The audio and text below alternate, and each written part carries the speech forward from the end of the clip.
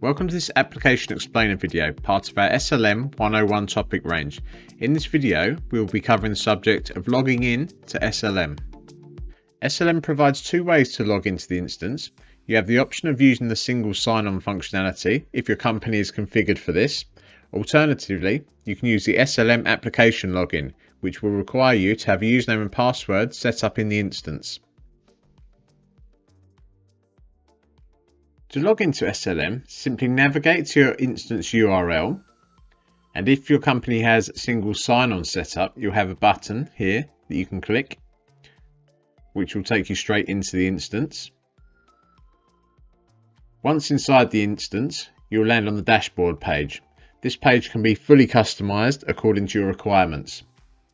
To log out of SLM, navigate to the top right hand corner, click the drop down next to your name and click sign out. If your company does not have single sign-on set up, simply click here on the SLM application login, enter your username and password,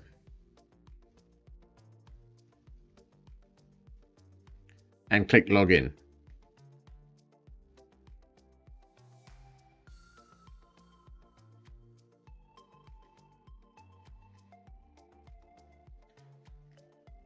If you've forgotten your password, click the forgot your password link and reset the account password using the email address registered in the application.